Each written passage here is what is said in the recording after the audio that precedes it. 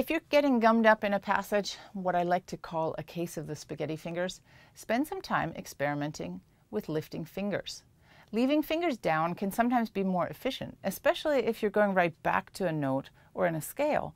But generally, lifting or rolling off the fingers as you go can make your fingers more independent, which is great for fast playing. It's all about finding what gets you ready for the next few notes that are coming up. Let's look at an example. Um, just the, the beginning of this.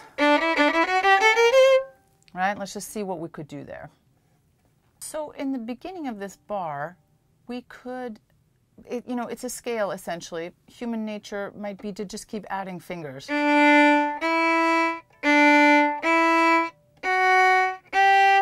And leave these fingers down. If I do that completely, I probably will not be quite ready for the B flat. So the kind of leaving down version is and clear when I have to. The lifting version of that would be that I start to roll off the fingers as I go.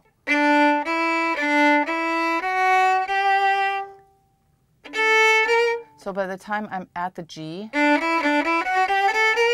I've already lifted one and two.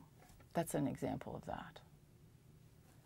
Let's look at another example. This one might be a little bit less obvious. We're going to go to the end of the concerto again and look at the last two beats of the, an excerpt that I already played for you. This one, uh,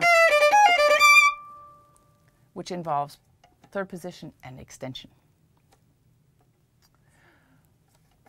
All right, so in those last two beats, we're in third position. We've got an extension coming up. There are two ways to do it.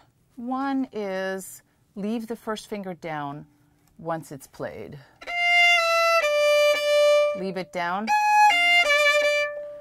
This makes it more likely that when you get back to one, the D, it's in tune.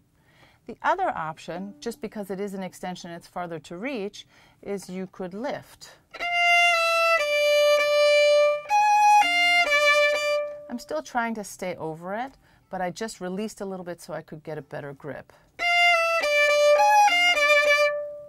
Now, what you do is really, uh, it's a it's a personal preference. What I would do in this particular spot, actually, since I tried this out last night, is that I don't totally lift one, but I kind of lighten it so it almost feels like a harmonic in my hand. How do I know that? Just trial and error. The decision to lift or leave fingers down is unique. There are no hard rules. It's just a question of context and what works better for you. So experiment and find out if any of your lifting or leaving tendencies are getting in your way.